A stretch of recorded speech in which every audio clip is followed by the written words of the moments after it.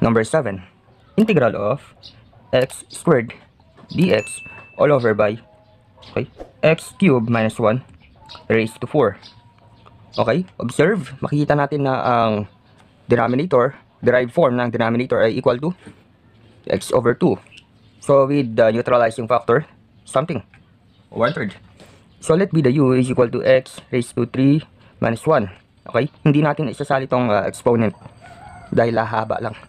So derive du is equal to 3x raised to 2 plus d0 and dx.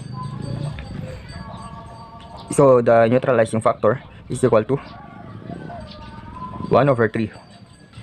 So stop na natin 1 third integral of x dx I mean x squared dx ay equal to du 1 over by u raised to 4 okay ito ay equal din sa integral of 1 third integral of uh, u raised to negative 4 du okay integrate na natin we have 1 third uh, multiply by the integral of u raised to negative 4 du ay u raised to negative 5 I mean negative 3 over negative 3 uh, plus the constant.